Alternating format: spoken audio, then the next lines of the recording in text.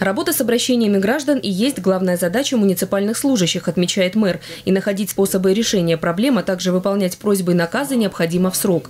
Отказы приемлемы только в том случае, если решить вопрос заявителя положительно не позволяет закон, что бывает достаточно редко. Как показывает практика, обращаются сочинцы в администрацию не с глобальными вопросами. Обычно это просьба об устранении коммунальных проблем, установке детских площадок или требование оказания качественных услуг предприятиями жизнеобеспечения. У нас в 2014 2015 году обращения увеличились. Да. Вот. э, А что нужно делать, чтобы наши э, жители меньше к нам обращались? То есть что нужно делать для того, чтобы у них было меньше вопросов? Нужно исполнителям э, как можно чаще и вообще нужно каждое обращение рассматривать с выездом на место и сообщением заявителя, с участием заявителя. Все-таки опять нам надо вернуться к разговору о- об исполнительской дисциплине Да. наших чиновников. Да.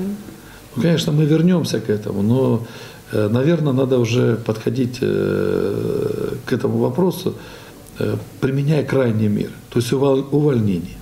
Вот я просто требую, чтобы в течение значит, 10 дней вы мне подготовили конкретные вопросы, которые не решаются долгое время по вине исполнительской дисциплины наших чиновников.